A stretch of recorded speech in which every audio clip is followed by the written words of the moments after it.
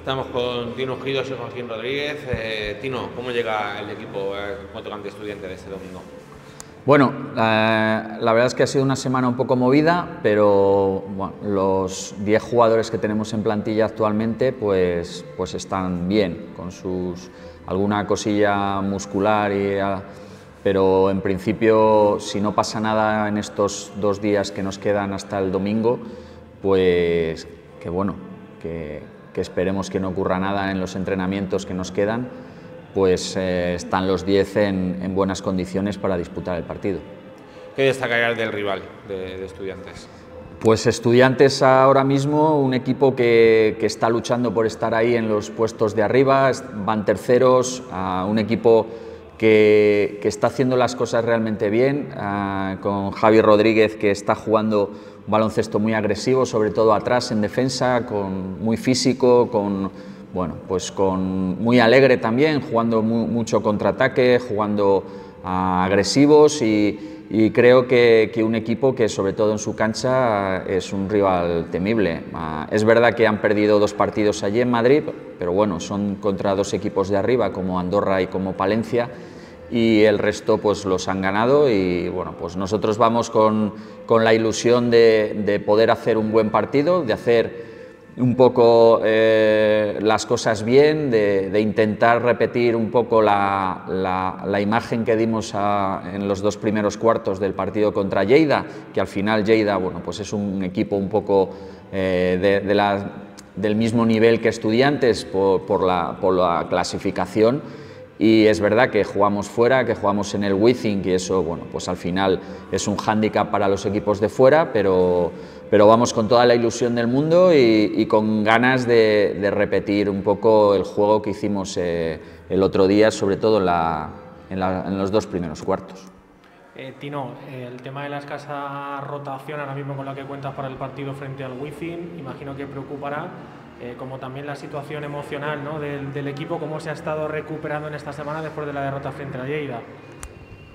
Bueno, eh, ha sido duro, ha sido duro después de perder, eh, después de perder el otro día con Lleida, el equipo estaba abatido, pero bueno, yo creo que, eso nos, va a hacer más, más fuertes, ha juntado mucho al bloque, digamos, y bueno, pues eh, los 10 jugadores que tenemos ahora yo creo que ahora han hecho una conjura para intentar que, esto no vuelva a ocurrir. Eh, tenemos que ser mucho más sólidos, sobre todo cuando llevamos una ventaja de intentar eh, no irnos del partido como nos fuimos el día de Lleida y eso es lo que estamos intentando cada día en los entrenamientos. Estamos trabajando el aspecto mental sobre todo, eh, esta semana ha habido mucha, bueno, mucho movimiento y, dentro y fuera del equipo y estamos trabajando sobre todo el, tema mental, que al final yo creo que somos capaces de hacer muchas cosas buenas, pero luego ah, mentalmente eh, somos en ciertos momentos débiles. Entonces, si somos capaces de aumentar esa dureza mental y ser capaces de competir como podemos hacerlo, eh, somos un equipo muy peligroso. Pero si nos venimos abajo, pues, pues pasa lo que nos pasó el otro día. Yo te quería preguntar, Tino, que, eh, bueno, ya sabemos que Movistar Estudiantes es un super equipo, también lo fue la semana pasada Lleida. Eh, no sé si es el mismo tipo de juego, pero cómo, cómo se le combate, cómo piensas que se va a desarrollar el partido.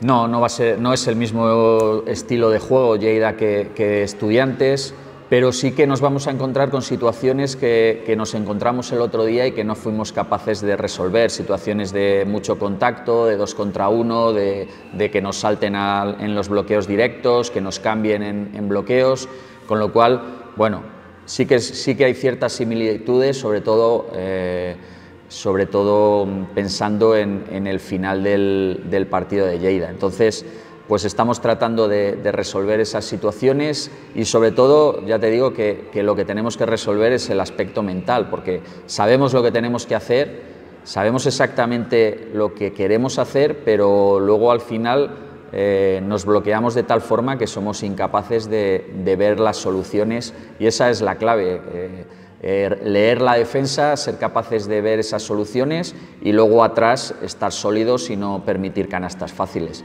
Al final esto va de meter, va de defender, va de que no te metan canastas y, bueno, pues estamos trabajando sobre todo, ya te digo que, el, tema, el tema psicológico, porque no es normal que, sea, es como el Dr. Jekyll y Mr. Hyde, de, un, cuarto, dos cuartos, un equipo y, otro, otro cuarto, un equipo totalmente diferente.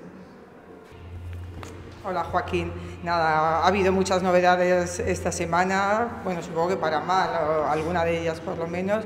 Eh, creo que hay muy poco tiempo y no creo que, este domingo podamos contar con nadie más o si el club tiene pensado traer algo, traer a alguien o... Bueno, buenos días.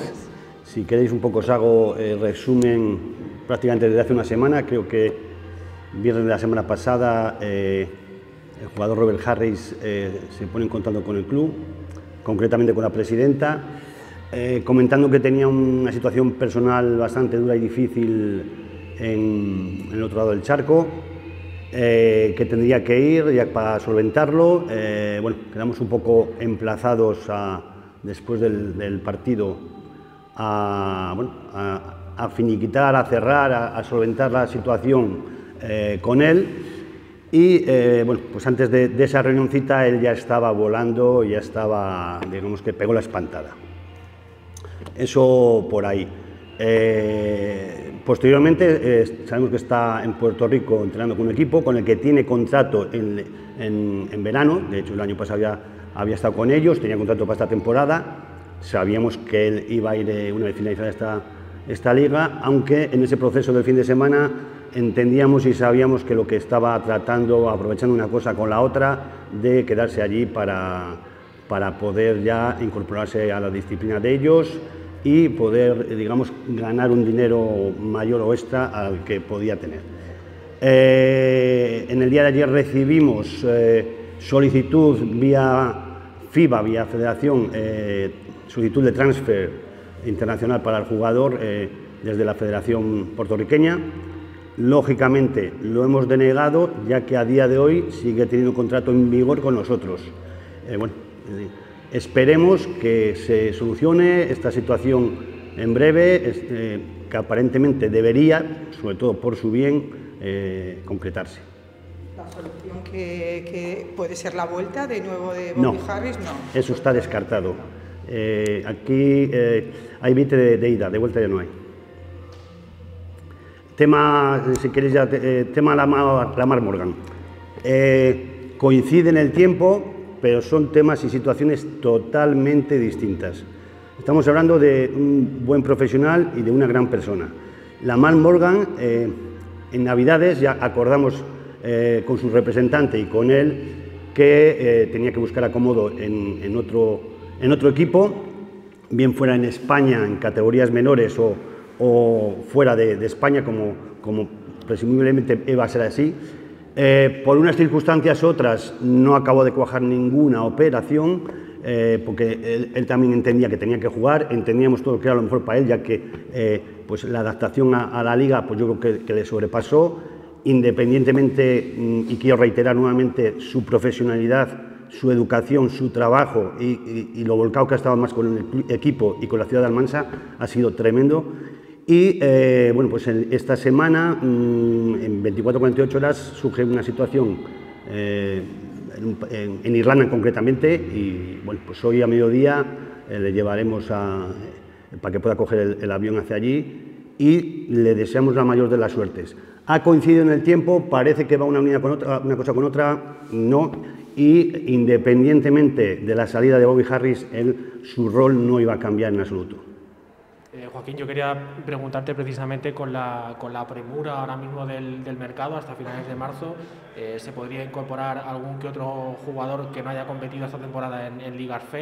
No sé si uno, un par de, de, llegadas, ¿se está concretando algo en concreto? Estamos trabajando, lógicamente, intentar incorporar a un jugador, porque entendemos que no va, no va a ser posible más, y eh, la situación no es fácil, porque si es verdad que hace hasta 28 de febrero teníamos más mercado a que poder acudir, la situación ahora es complicada, pero estamos trabajando, viendo opciones y esperemos que, puedan eh, algunas ser fructíferas.